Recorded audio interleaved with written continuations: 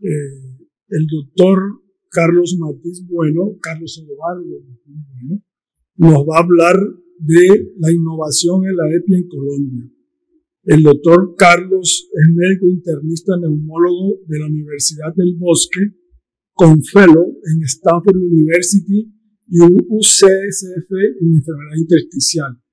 Participó en estudios de investigación clínica en neumología, en fibrosis pulmonar, EPOC, asma, trombosis venosa profunda, hipertensión pulmonar y tos crónica. Doctor, bienvenido. Bueno, gracias, hermano. Ya para finalizar, vamos a tratar de ser lo más breve.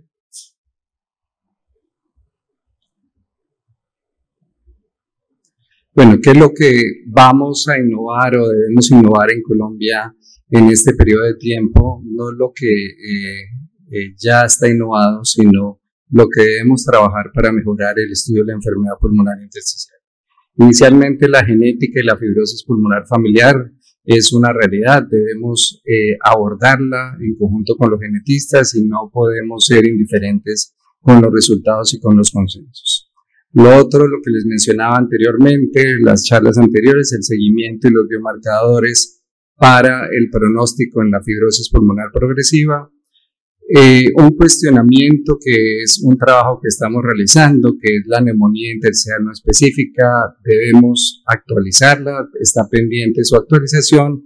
Y finalmente, la tecnología con los computadores y con la inteligencia artificial en la radiología, cómo nos va a permitir y ser un futuro definitivo que nos tenemos que eh, eh, aprobar.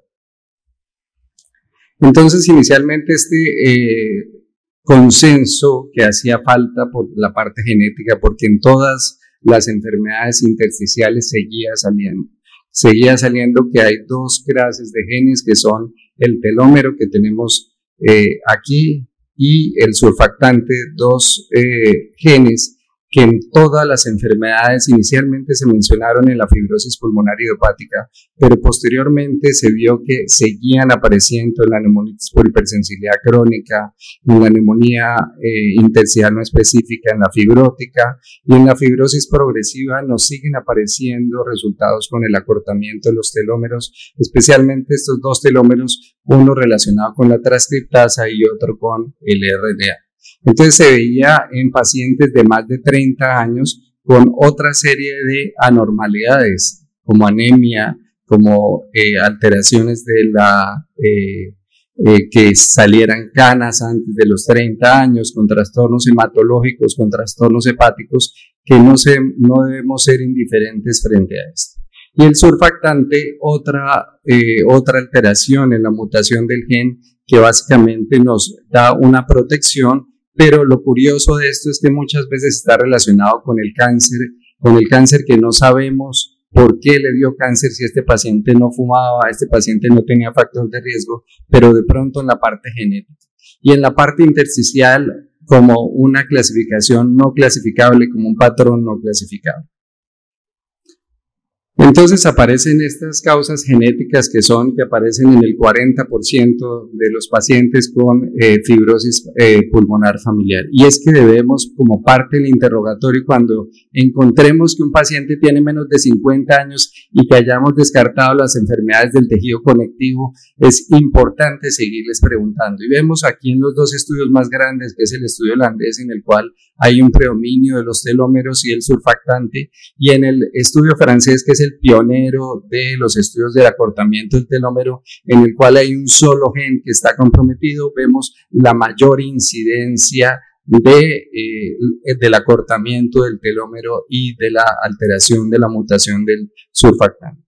Pero ¿de dónde sale ese telómero? Ese telómero es de, eh, de un estudio genómico con una, unas técnicas que debemos pedirle al genetista que nos ayude, en el cual hay un acortamiento por la mutación y un envejecimiento que está relacionado con la parte celular y la parte del envejecimiento a nivel que nos va a producir un acortamiento en la primera generación, en la segunda generación y los más frecuentes, pues como les mencionaba antes, es la alteración a nivel de la transcriptasa y el RNA.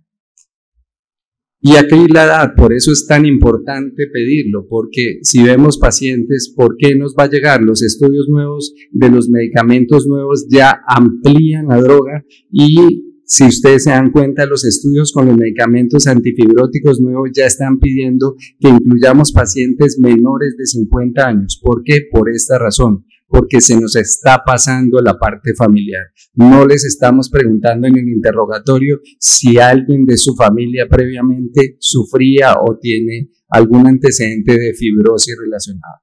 Y básicamente dado con el surfactante y con el acortamiento del telómero. Entonces de ahí la importancia que parte del interrogatorio en la historia previa es obligatorio preguntarle si el paciente está joven, está menos de 50 años, después de todo lo que nos aprendimos hoy con la parte del colágeno, tenemos que pedirle esto.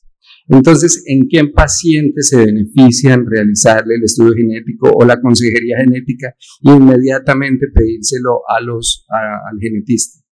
En los pacientes, cualquier paciente con enfermedad pulmonar intersticial, ya no es la fibrosis pulmonar idiopática, es la neumonía intersticial no específica, la neumonitis por hipersensibilidad crónica en un paciente joven, debemos estar alertos a esto. En primero o segundo grado o tercer grado debemos pedirse en cualquier enfermedad pulmonar intersticial fibrótica con una variante patológica o portadora que cause la enfermedad. En los pacientes que sospechemos que hay un acortamiento del telómero y como les mencionaba antes, el paciente que tiene menos de 50 años. ¿Y cuál es la sospecha? Porque uno dice, bueno, ¿y por qué le voy a pedir esto? ¿Y cómo va a saber que tiene acortado el telómero si no lo he medido? Si es difícil medirlo, si hay que pedirlo o mandarlo afuera para hacer el estudio genómico, la secuencia genómica, por unas técnicas sofisticadas, pero nosotros como clínicos tenemos que pensarlo. ¿Cuándo? Cuando nos salgan unas canas antes de los 30 años, algo está pasando ahí cuando tengamos una anemia y parte de esa anemia no sepamos la, la, clase. Otra, cuando tengamos alteraciones a nivel hepático, que tengamos trombocitopenia de una causa no clara. Entonces, esas son las formas asociadas a toda esta serie de enfermedades que aparecen ahí, que están relacionados con el acortamiento del telómero. Pero eso debe ser parte de nuestro interrogatorio habitual de todos los días. ¿Y cuál es el pronóstico de estos pacientes según el consenso? El pronóstico es malo. El pronóstico es malo y es generalmente progresivo y asociado a una morbimortalidad mayor. Aquí lo que muestra más o menos de 2.4 a, a 4.3 años asociados a fibrosis progresiva, asociado al, al, patrón del telómero. Entonces tenemos que estar atentos porque el paciente y su familia o sus hermanos pueden desarrollar esta enfermedad aparece otra, eh, otro marcador, que es la proteína MUC5. Nos suenan cosas raras, pero en esta eh, proteína, que es una variante, la mucoproteína, que está asociado a factor pronóstico, lo hemos relacionado en todas las entidades que estamos viendo. En la fibrosis pulmonar hepática, obviamente es la más estudiada, pero aparece también en la artritis reumatoidea, aparece también en la neumonitis por hipersensibilidad crónica, asociado a los antígenos de histocompatibilidad, ampliamente estudiado por el doctor Selman. Pero también aparece en la esclerosis sistémica y aparece también en, los, en el síndrome antisintetasa y vemos aquí cómo hay un biomarcador que es la proteína MUC5 que es un factor pronóstico de severidad y de mal pronóstico al encontrar. Entonces, el otro punto que debemos analizar son los biomarcadores. ¿Cuáles son los biomarcadores que nos ayudan a esto? Mencionaban anteriormente los marcadores proteómicos, en los cuales pues los más estudiados son estos, que son eh, mucoproteínas, que son proteínas, la KL6, alteración de, la, de las metaloproteinasas, alteración a nivel del sulfactante, de los marcadores TOLI, que se ven relacionados como un factor que nos pueden predecir que ese paciente, al poderlo medir, nos va a producir o un empeoramiento o un peor pronóstico o una fibrosis progresiva en la neumonía intersticial no específica, en la neumonía en organización o en otros patrones que tenemos. Y acá menciona nuevamente lo de los monocitos, llama la atención los monocitos, tratan de extrapolarlo con relación al EPOC, con los eosinófilos, tratar de tener una medida fácil, que eh, en este estudio lo hicieron en tres cortes, en 120 pacientes, en tres sitios diferentes, en los cuales pusieron un punto de corte punto 95 que no está establecido, pero que con el estudio y con la correlación de la edad, del sexo, del patrón que tenga el paciente, la severidad de la fibrosis y la medición del monocito puede ser un biomarcador que nos ayude a hacer el seguimiento y el pronóstico de la enfermedad. El patrón de neumonía intersticial usual ya lo sabemos, ya lo sabemos, pero entonces ya tenemos que analizarlo. Ya aprendimos con todos estos consensos que el patrón de neumonía intersticial usual es el peor patrón de todos los eh, componentes en la enfermedad pulmonar intersticial. Pero vemos cómo es difícil el diagnóstico, por ejemplo, relacionado con la artritis reumatoidea o, peor aún con la neumonitis de hipersensibilidad, que no es el patrón clásico de la neumonitis por hipersensibilidad crónica, pero que se nos puede manifestar en ese momento. Entonces vemos cómo el patrón de fibrosis pulmonar idiopática o de neumonía intersticial usual es el más agresivo, el de peor pronóstico y el que debemos estar atentos frente a una enfermedad pulmonar intersticial. Y acá hay una premisa muy importante que dice los antifibróticos disminuyen la caída de la capacidad vital forzada en fibrosis progresiva, pero no la revierten. Sabemos que no la va a revertir. Tampoco le podemos dar falsas expectativas a un paciente de que con esto, que con la eh, tolerancia de su antifibrótico va a mejorar y va a revertir, sino que vamos a disminuir la caída de la capacidad vital forzada. Y nos hemos encaminado a el seguimiento radiológico. ¿Qué hemos aprendido? Pues que la presencia de la panalización, en este caso con una bula subpleural, la panalización, eh, las bronquiectasias de tracción que van progresando en estos meses, en esta correlación de estos tres eh, seguimientos, no debemos esperar, como decían anteriormente, dos años, sino mirar de acuerdo a cada paciente individualizando el seguimiento clínico, funcional y tomográfico para determinar el tratamiento que le vamos a hacer. Entonces sabemos que estos tres patrones, las bronquiectasias, el aumento del retículo y la panalización, son signos de peor pronóstico.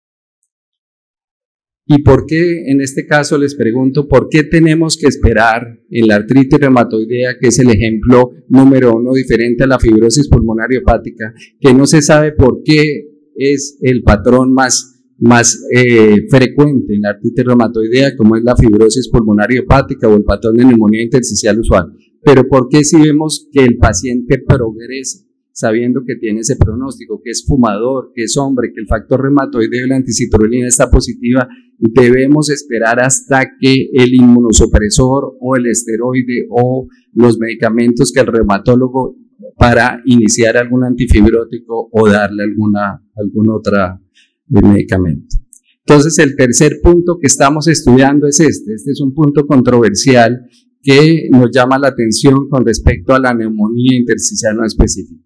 Desde que Katzenstein y Fiorelli determinaron y en la clasificación de la ATS identificaron que la neumonía intersticial no específica era una enfermedad aparte. Pero cada vez vemos que la forma idiopática es menor, cada vez vemos que las enfermedades del tejido conectivo son mayores, que el IPAF es mayor y que nos produce más fibrosis pulmonar eh, con compromiso de neumonía no específica. Y que adicionalmente existen otras causas en la neumonía no específica que es el gran confundidor. Eso fue lo que confundieron al principio en la neumonía intersticial usual con la neumonía no específica, que respondían a los esteroides y después se dieron cuenta que había un patrón celular y uno fibrótico y que hay otros agentes que pueden llegar a producir lo mismo, ese mismo patrón radiológico y patológico, como la neumonía intersticial, eh, la neumonitis por hipersensibilidad, la relacionada con drogas, las secuelas del SRA, las infecciones que vimos con el COVID, la toxicidad por medicamentos. Entonces, todas esas causas nos producen neumonía intersticial no específica y cada vez nos estamos quedando con menos porcentaje de la incidencia y la prevalencia de la causa idiopática. Entonces vemos el patrón fibrótico, el patrón fibrótico que es el que nos complica porque el celular es el que responde y entonces entre comillas le damos un factor pronóstico adecuado con los esteroides y que nos mejora con los esteroides. Pero qué peor aún cuando está asociado el patrón radiológico de neumonía organización o neumonía intersticial no específica. Y entonces aquí sabemos que el pronóstico es mejor, el pronóstico, como sabemos, el, pronóstico es mejor de la neumonía intersticial específica frente a la neumonía eh, intersticial usual, en tanto frente o con otras enfermedades o con otros patrones que nos permiten la evolución. Y acá lo importante acerca del virus esmerilado. Tenemos un paciente que va progresando, que tiene una secuencia con un retículo, con un patrón que lo podemos denominar los hilas o las anormalidades intersticiales que están empezando y que no tenemos un patrón definitivo todavía pero sigue progresando y empieza a aparecer el virus merilado. Siempre creemos cuando hay virus merilado que el paciente se va a mejorar. Siempre le damos ese carácter inflamatorio, benéfico, pero si se dan cuenta, fíjese que va progresando y vamos a encontrar diferentes densidades del virus merilado, que es lo que estamos trabajando, y fíjese que hay hasta un empedrado. Entonces, ¿cuántos tipos de virus esmerilado tenemos? Tenemos un virus esmerilado benigno, que es el celular, o un proceso ya inflamatorio, fibrótico, que entre comillas pensábamos que iba a responder con la droga, con los esteroides, pero posteriormente se nos fibrosa el pulmón y se confunde con las otras opciones de panalización, de bronquiectasis de tracción, entonces vemos que el vidrio esmerilado no es tan.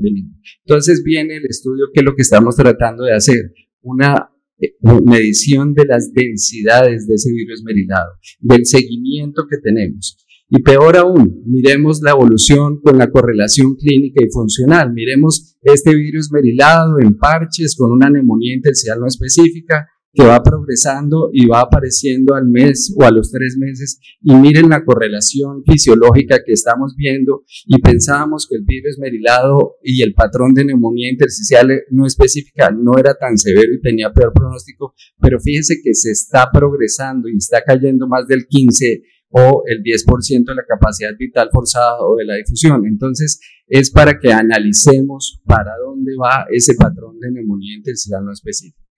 Y qué decirlo en la esclerodermia, como nos decía Tan en, su excelente charla la reumatóloga los anteriores.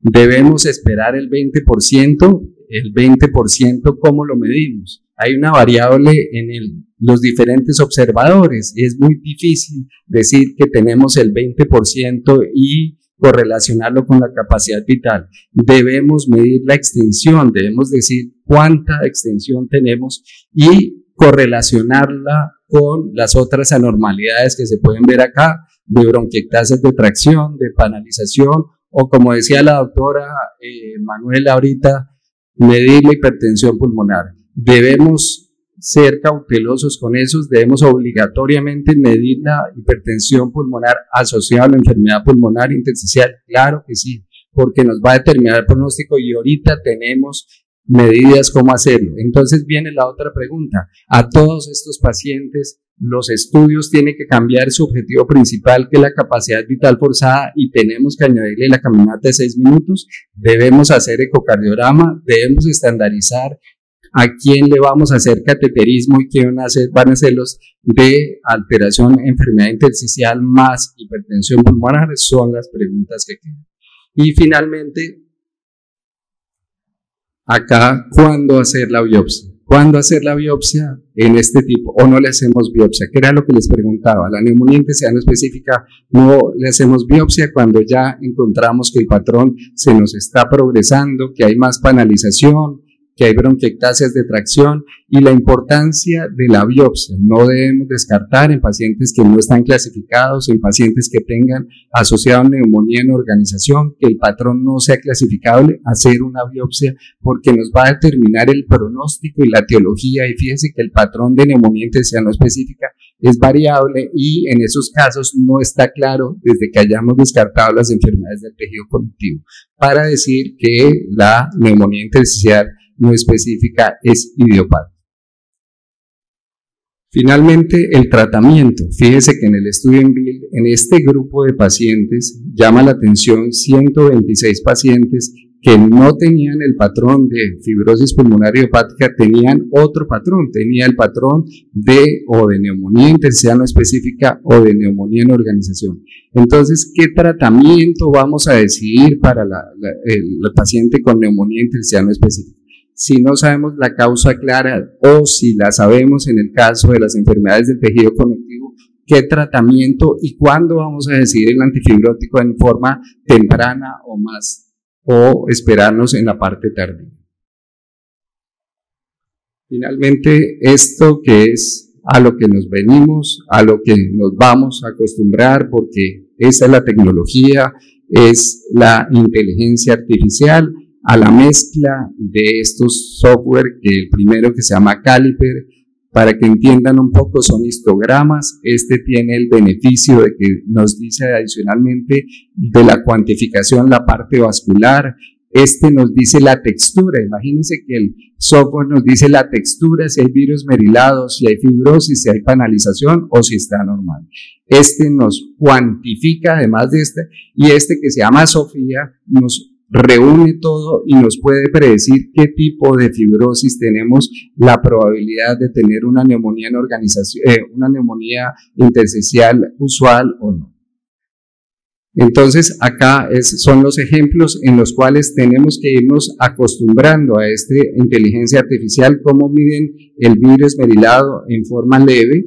Y acá cuando empieza a aparecer el color verde o el color morado, es donde empieza a aparecer el virus merilado. Y acá cuando hay mucho, mucha cantidad de virus merilado, como el software por la textura del virus merilado nos va a predecir esto. Y esta, la correlación de la cuantificación. Entonces no solo nos cuantifica el tamaño, el volumen, el porcentaje y nos predice cuánto nos va a progresar con el tiempo, en este caso con cuánto ha progresado en el tiempo este tipo de patrón de neumonía intersticial usual. Aquí el que les decía, el Sofía, que ya nos reúne no solo nos cuantifica, sino que además nos da una probabilidad, como se menciona acá, de porcentajes, cuánta probabilidad tiene y cuántos mililitros tiene para desarrollar la neumonía en organización, la neumonía intersticial usual, perdón. Entonces es para que veamos y vayamos acostumbrándonos a cuantificar esto, que, que hay una falla entre el interobservador, porque pueden tener radiólogos expertos y a pesar de la extensión van a diferir en cuanto al pronóstico y esto. Entonces, pues el estudio genético es definitivo, lo debemos hacer en pacientes menores de 50 años con medición en las mutaciones del acortamiento del telómero de la proteína del MUC5, los pacientes con, eh, que no va a ser solo exclusivamente la fibrosis pulmonar hepática, sino de la neumonía intensidad no específica, de la neumonitis por hipersensibilidad, de la artritis reumatoidea que se puede estar relacionada a este, que nos van a permitir el diagnóstico, pronóstico y severidad de la enfermedad. Los diferentes biomarcadores que ya mencionaron que están en estudios no los tenemos disponibles. El más promisorio parece y fácil para nosotros, adaptable a la parte funcional que son los monocitos, pero existen otros mucho más sofisticados, obviamente siguiendo los parámetros radiológicos, parámetros funcionales y clínicos de cada paciente. Bueno, y faltaba la última parte que son los estudios con inteligencia artificial. Bueno, muchas gracias.